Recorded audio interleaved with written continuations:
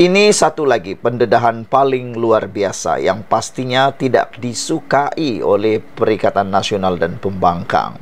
Isunya ialah Perikatan Nasional tidak ikhlas tunggang isu sumbangan syarikat dosa. Perikatan Nasional PN disifatkan hanya menunggang isu sumbangan syarikat dosa, iaitu arak secara tidak ikhlas apabila berterusan menyerang isu sumbangan syarikat Tiger untuk sebuah sekolah Cina. Menurut netizen, ini kerana pada tahun 2020 dan 2022, syarikat pembuat dan penjual arak Casbet, Heineken serta Tiger menyumbang untuk sekolah vernacular. Seorang aktivis Iqmal Iskandar dalam postingnya menjawab persoalan Kenapa Pakatan Harapan tak pertikai sebelum ini? Ini kerana bukan semua orang tahu pekeliling sesebuah kementerian. Hanya menteri dan pegawai tinggi kementerian sahaja yang tahu berkenan pekeliling ini.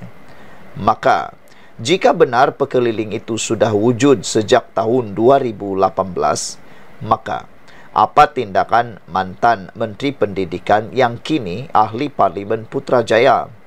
Dr. Razi Jidin tak kalah Kasbet dan Hiniken menyumbang jutaan ringgit kepada sekolah vernacular. Walaupun mungkin lupa, tapi saya sangat ingat tak kalah kerajaan Pakatan Harapan membatalkan sumbangan kepada UTAR tapi Perdana Menteri Lapan menyumbang semula, menyambung semula sumbangan itu. Di mana walaupun ketika itu merujuk kepada penyokong Tegar PAS isu sumbangan syarikat arak dan rokok kepada syarikat vernacular panas. Ekoran kejadian timbalan menteri yang juga ahli parlimen Sepang menerima satu mock check sumbangan sebuah syarikat arak kepada sebuah sekolah Cina di Sepang. Sekolah di Sepang. Saudara hari ini juga netizen terkejut apabila individu kirim surat layang kes Zulfarhan munculkan diri di IG. Salah seorang saksi yang bertanggungjawab mengirim surat layang berhubung kes pembunuhan Zulfarhan Osman Zulkarnain disebut-sebut pengguna media sosial sejak semalam. Identiti yang tidak diketahui sebelum ini akhirnya berjadi ditemui warga maya dan sekaligus membuatkan individu itu tampil muncul di media sosial. Dalam persatu perkongsian di Instagram, Muhammad Aiman Aufa yang merupakan saksi pendakwaan kes Zul Farhan memuat naik satu ucapan ringkas berkenan surat layang tular di media sosial. Setelah hampir 8 tahun, ini first time kali pertama saya tengok semula surat ini. Lepas saya letak dulu, tak pernah tengok dah sampai sekarang. Demikian kata Muhammad Aiman. Dia juga tidak tahu bagaimana surat tersebut boleh tersebar sehingga menjadi bualan orang ramai. Tak tahulah macam mana boleh sampai ke publik umum. Apa-apapun Al-Fatihah buat keluarga arwah katanya. Kita manusia hanya mampu berikhtiar dan berusaha. Allah penentu segalanya. Al-Fatihah katanya pada hantaran itu hari ini. Terdahulu, tular surat layang dipercayai dihantar oleh Muhammad Aiman kepada warden asrama yang memohon agar bilik Alia Raham diterja dan diselamatkan segera. Kalau ada perasaan, ada sifat peri kemanusiaan, saya minta sangat-sangat pergi embus bilik 4 hingga 10 blok Setria depan masjid. Dalam dalam tu ada pesakit yang sangat-sangat perlukan rawatan segera katanya. Pada 28 Jun 2018, Muhammad Aiman yang ketika itu berusia 22 tahun mendedahkan kepada mahkamah bahawa dia menulis dua pucuk surat layang untuk memberitahu pihak atasan UPNM yang Zulfarhan Osman didera oleh rakan-rakannya. Ia selepas dia melihat mangsa terbaring dengan seluruh badannya menggelembung dipenuhi tompok kehitaman dan darah di bilik 419 asrama penginapan UPNM pada 22 Mei 2017. Surat layang pertama diselitkan di pagar rumah sakit Angkatan Tentera Resat pada 23 Mei 2017 dan surat layang kedua diletakkan di bawah pintu bilik seorang jurulati pada keesokan harinya. Sekian dulu untuk kali ini. Jangan lupa tinggalkan komen anda. Sila tekan butang subscribe. Bye-bye. Salam sejahtera. Selepas Perdana Menteri kita, Anwar Ibrahim diserang terang-terangan oleh pembenci beliau dengan mengatakan bahawa hutang mana yang menjadi kurang. Ha, hutang mana yang kurang apabila Anwar Ibrahim kata negara kita sedang berjaya mengurangkan hutang dan berjanji mengurangkan hutang secara berperingkat, ramai orang yang terkesan, ramai orang yang termelompat. Mereka tak percaya. Biasalah kan? Anda tak percaya ke? Mereka mempersoalkan sejauh mana kebenaran apa yang Anwar kata. Anwar diam-diam saja. Akhirnya dia tampil memberikan fakta yang anda tunggu-tunggu. Jadi kalau selama ini ada yang memfitnah, ada yang kata itu bohong, itu hanya cakap-cakap, ah ini saya kongsikan dengan anda fakta yang benar dan tepat. Anda kongsikan kepada semua orang, terutama yang betul-betul sudah percaya pembohongan orang-orang pihak lain yang mengatakan Anwar Ibrahim bohong tentang pembayaran cukai eh, pembayaran hutang negara itu. Jadi aku kongsi dengan kamu semua. Ini dia. Kerajaan kurangkan hutang negara bukan cakap kosong kata Perdana Menteri.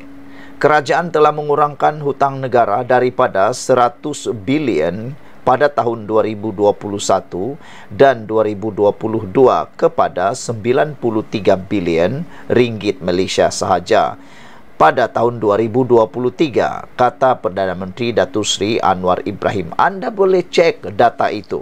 Pada tahun 2021 nilai hutang negara ialah 100 bilion ringgit dan pada tahun 2022 menjadi 93 bilion. Jadi kurang sebanyak 7 bilion. Ha, Perdana Menteri kata pada tahun 2024 ini pula katanya kerajaan dijangka akan berhutang sebanyak 86 bilion sahaja.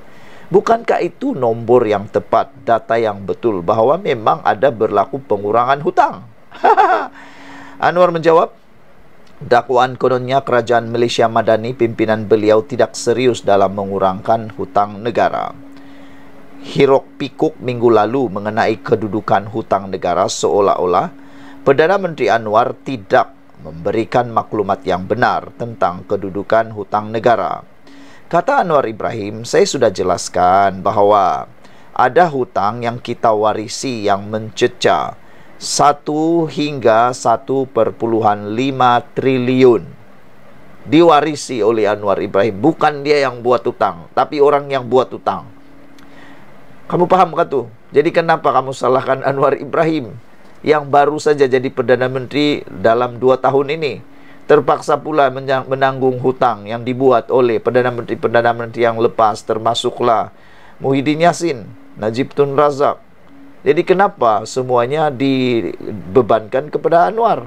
Walhal Anwar Ibrahim berusaha mati-matian untuk membayar hutang itu termasuklah mengambil langkah tidak populer yaitu membuat penyasaran subsidi diesel bersasar.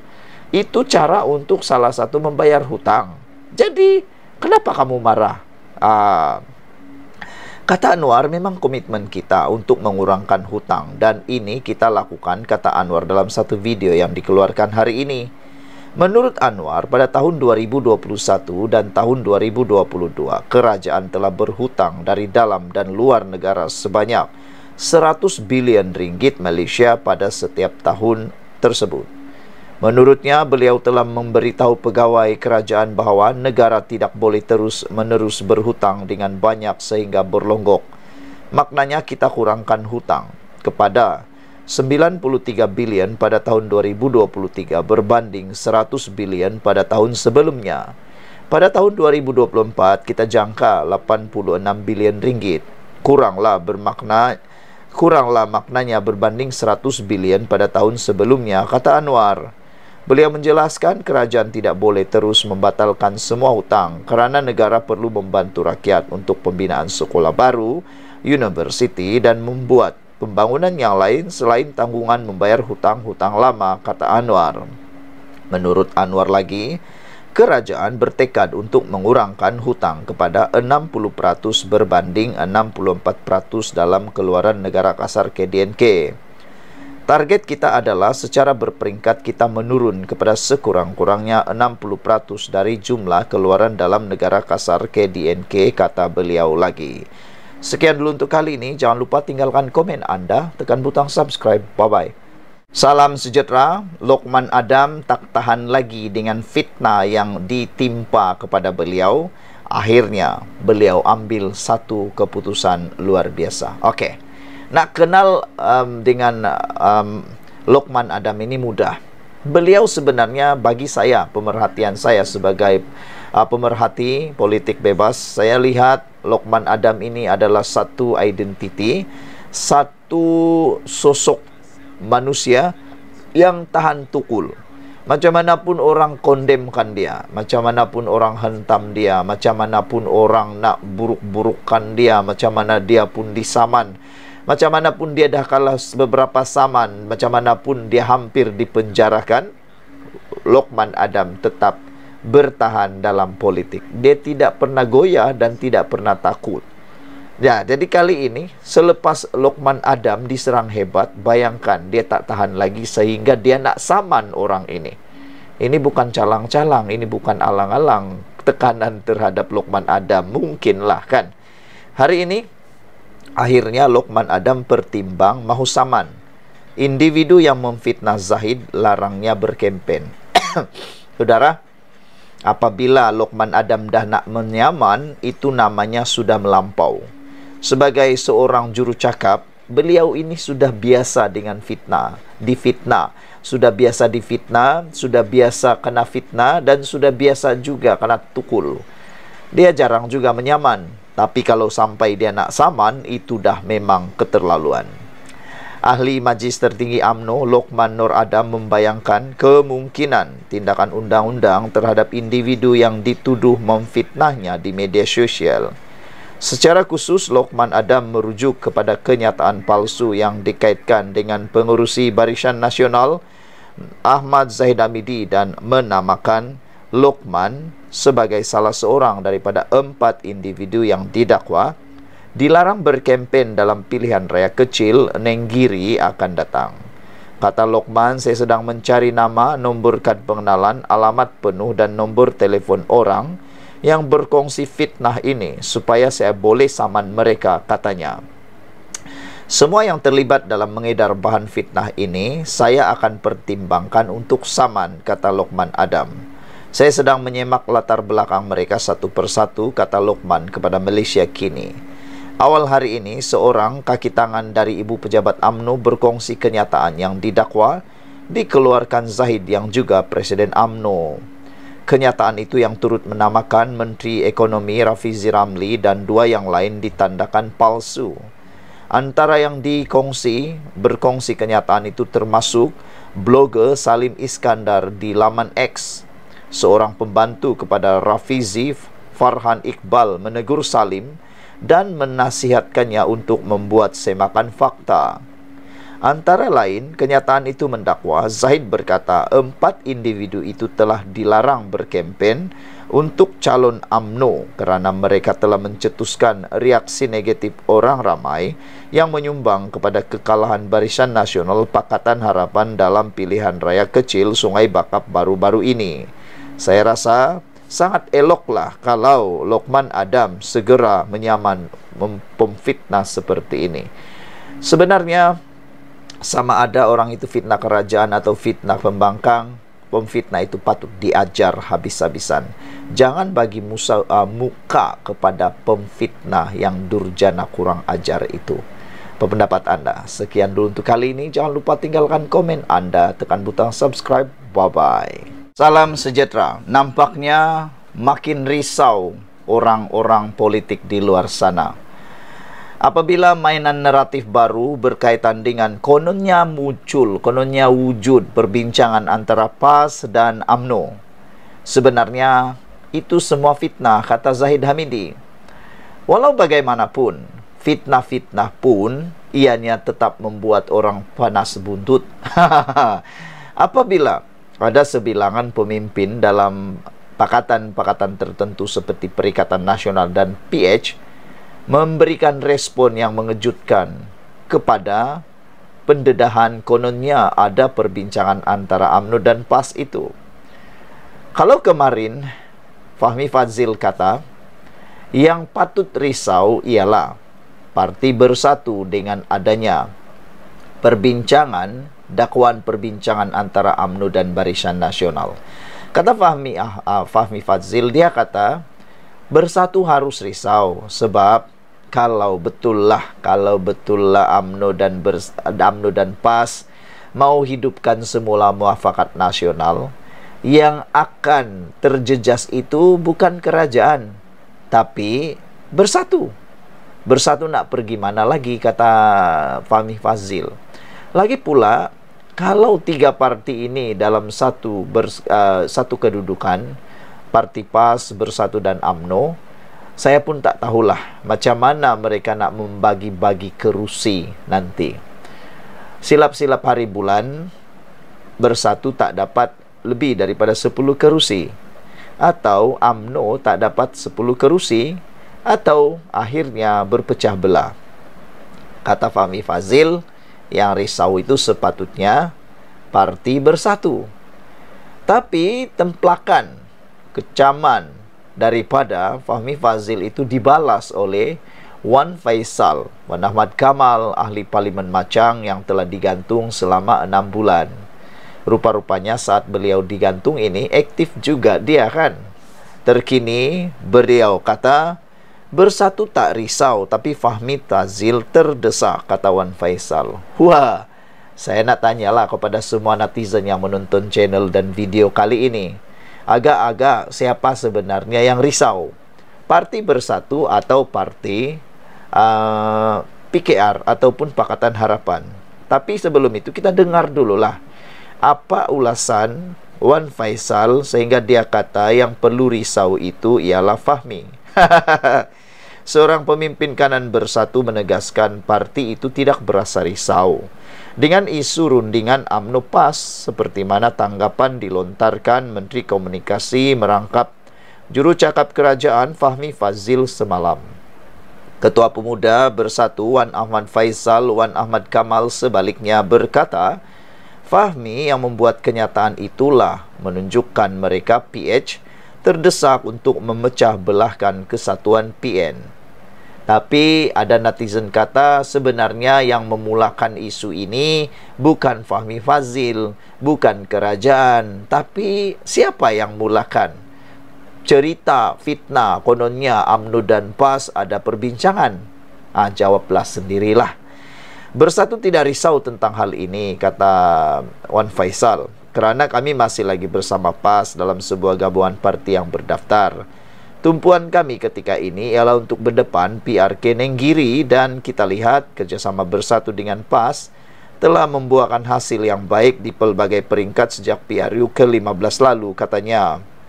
Jadi Fahmi menunjukkan mereka terdesak untuk cuba memecah belahkan PAS dan bersatu katanya.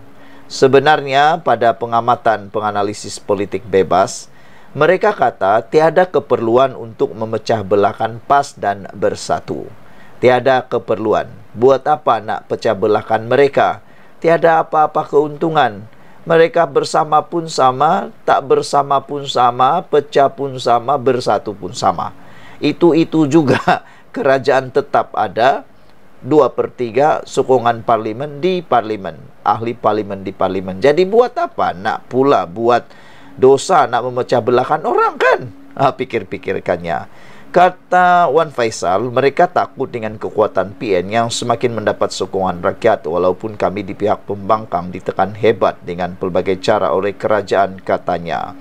Dia yang juga ahli parlimen macam mendakwa sokongan rakyat pada Perikatan Nasional tidak luntur kerana mereka berdepan dengan pelbagai fitnah dan sekatan.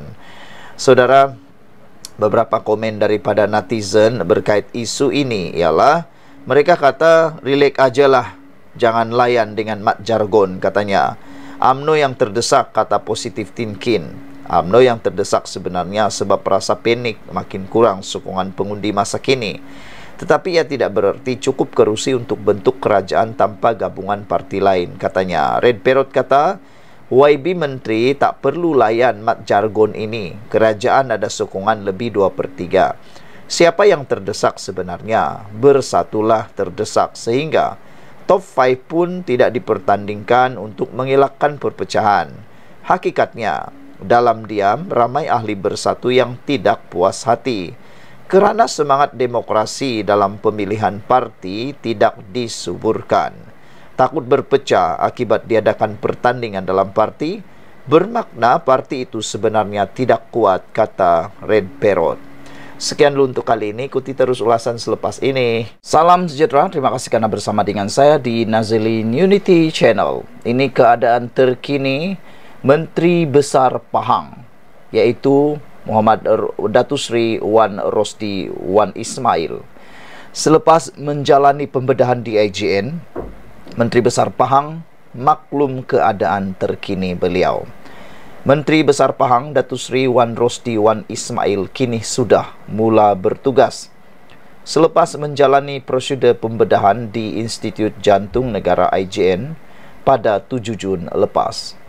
Setelah sekian lama bercuti selepas menjalani pembedahan di Institut Jantung Negara IJN pada 7 Jun lalu, Alhamdulillah hari ini saya memulakan tugas mempengerusikan mesyuarat mempengerusikan mesyuarat Majlis Kerajaan MMK di Wisma Sri Pahang, Kuantan. Saya juga telah menyerahkan surat penempatan dan pertukaran ketua jabatan di bawah pentadbiran Setiausaha Kerajaan Pahang berkuat kuasa pada 1 Ogos 2024. Katanya dalam satu hantaran di Facebook beliau hari ini. Sebelum ini, Exco Pahang, Datu Seri Muhammad Sofi Abdul Razak dilapor meminta semua pihak bertenang dan tidak membuat sebarang spekulasi mengenai tahap kesihatan Wan Rosti yang juga ahli Dewan Undangan Negeri Adun Jelai itu. Beliau berkata, semua pihak, khususnya rakyat negeri itu, tanpa mengira lapisan rakyat, berbeza pandangan dan fahaman politik, hanya perlu mendoakan yang terbaik buat Wan Rosdi. Katanya, semua orang tahu Datuk Seri Wan Rosdi tidak ada hari untuk berehat kerana jadual harian yang begitu padat setiap hari dan ia sedikit sebanyak memberi kesan kepada kesihatan katanya. Pada 10 Jun pula, Perdana Menteri Datuk Seri Anwar Ibrahim berkunjung ke IJN bagi meluangkan masa melawat Wan Rosdi selepas Menteri Besar Pahang itu selesai menjalani prosedur pembedahan. Saudara-saudara sekalian, di samping daripada itu, satu isu sisipan dalam isu kali ini apabila uh, Zahid Hamidi memberikan penjelasan dalam isu dakwaan diplomat Tibet ditolak JPA. Heboh kononnya diploma pendidikan dan latihan teknikal dan vokasional TVET tidak diiktiraf oleh Jabatan Perkhidmatan Awam JPA untuk diguna bagi berkhidmat dalam skim perkhidmatan awam.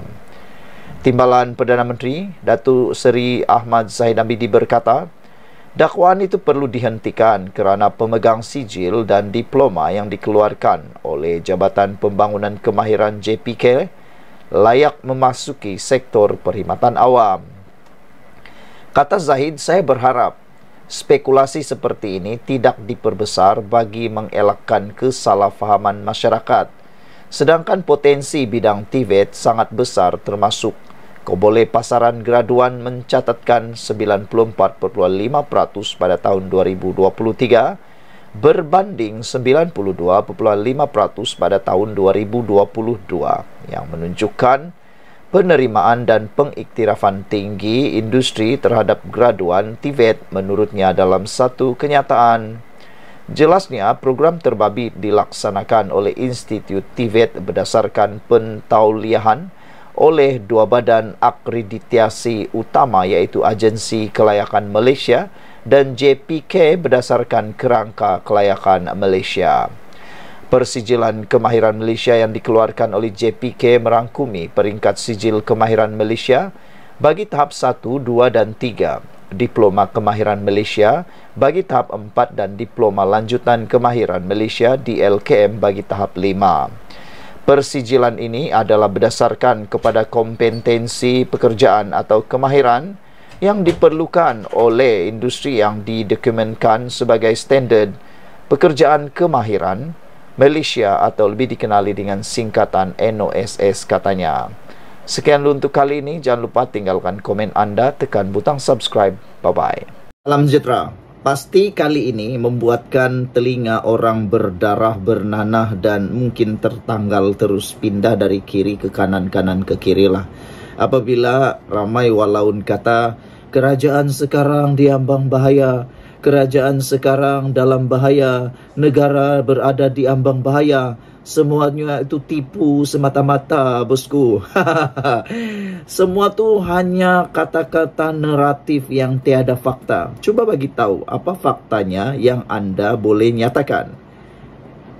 Tak tahulah. Mungkin kamu jumpa fakta-faktanya, tak apa. Nanti kamu tulis dalam ruangan komen apa fakta-fakta yang kamu dapat yang kononnya negara dalam ambang bahaya. Karena semalam saya lihat di dalam satu paparan video yang dibuat oleh pempengaruh media sosial, beliau kata lihat video ini. Apabila saya tengok dalam uh, satu paparan berita, laporan di Harap, Harakah Delhi menulis kata uh, laporan itu negara berada di ambang bahaya.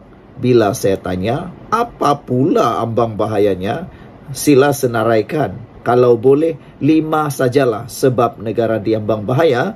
Bila mereka senaraikan, aduh, semuanya memang macam tapi tak betul. Ya, semua yang mereka kata itu sebenarnya naratif semata-mata. Faktanya ialah semuanya itu mungkin separuh benar, boleh kata juga separuh fitnah. Ha.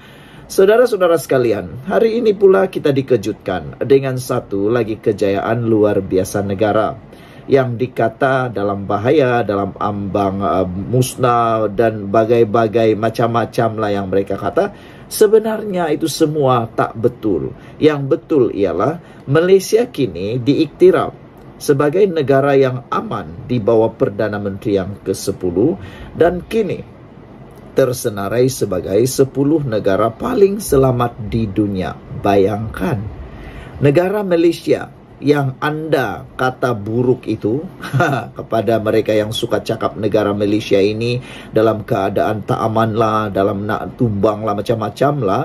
Dengar ini, laporan ini kata negara kita kini tersenarai sebagai 10 negara paling selamat di dunia. Bukan ke 20, bukan ke 30, tapi ke-10 bayangkan di bawah pentadbiran Anwar Ibrahim. Inilah yang terbaik. Negara Malaysia mempunyai pelbagai kaum, pelbagai agama, budaya, adat resam bangsa dan sebagainya. Tapi di bawah pentadbiran Anwar Ibrahim, Perdana Menteri Malaysia, beliau berjaya menyatu padukan semula rakyat Malaysia sehingga buktinya kita diiktiraf sebagai 10 negara paling selamat di dunia. Malaysia terus mempamerkan rekod baik di bawah pentadbiran kerajaan Madani apabila menduduki tangga ke-10 negara paling selamat di dunia daripada 163 buah negara. Kedudukan ini menyaksikan Malaysia naik 9 anak tangga berbanding tahun lepas di mana kita berada di tempat ke-19. Jadi, anak kata apa lagi? Bikin malu sajalah kamu yang menabur fitnah itu. Tolong share video ini supaya mereka tahu bahawa mereka kini melakukan dosa besar memfitnah kononnya kerajaan sekarang ini tak aman tapi kita diiktiraf negara 10 terbaik aman di dunia.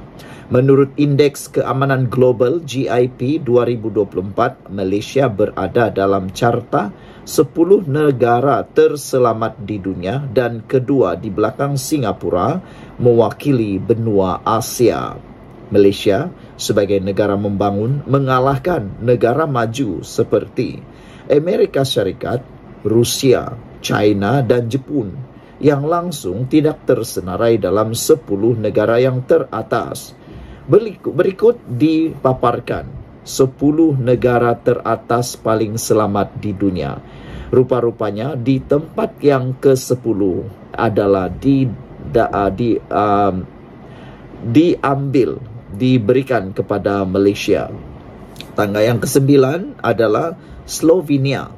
Tangga yang ke-8 ialah negara Denmark dan tangga yang ketujuh pula ialah negara asal Ronaldo, Cristiano Ronaldo iaitu Portugal. Dan di tangga yang keenam diberikan kepada Switzerland dan di tangga yang kelima siapa sangka negara kecil, negara yang berhampiran paling jiran dengan Malaysia iaitu Singapura. Manakala di tangga yang keempat adalah negara impian saya untuk pergi melancong tapi tak dapat pergi lagi iaitu New Zealand. Dan di tempat podium ketiga ialah negara Austria dan di tangga yang kedua siapa lagi kalau bukan negara Ireland. Dan pastinya anda tak sangka langsung bahawa negara paling selamat di dunia digondol oleh negara Iceland. Walaupun kita tidak menduduki podium 1, 2 dan 3, tapi kita berbangga Malaysia menjadi top 10 negara paling selamat di dunia. Kajian dilakukan firma Institute for Economy and Peace telah menyenaraikan Ireland Iceland berada di tangga pertama negara terselamat di dunia manakala tiga lagi negara masing-masing berada di tangga kedua dan keempat ialah Ireland, Austria dan New Zealand. Tiga aspek utama diambil dalam mengukur tahap keamanan global termasuklah keselamatan dan security, konflik yang berterusan dan tahap militarisasi.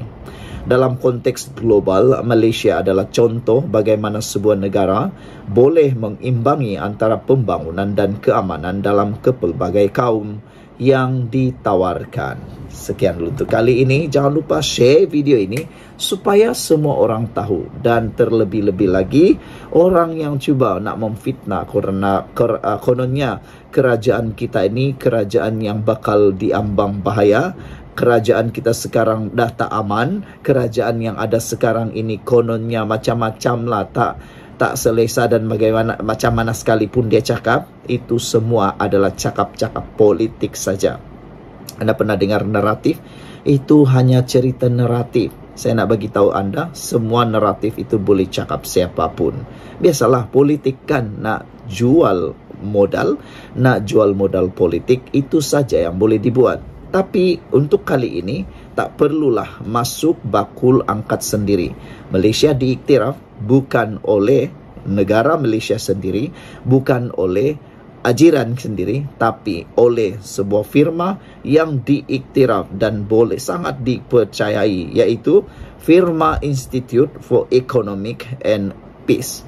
Tahniah diucapkan kepada kerajaan kita, Malaysia, negara Malaysia, kerana berjaya naik sembilan anak tangga daripada sembilan belas kini tangga ke sepuluh. Bravo!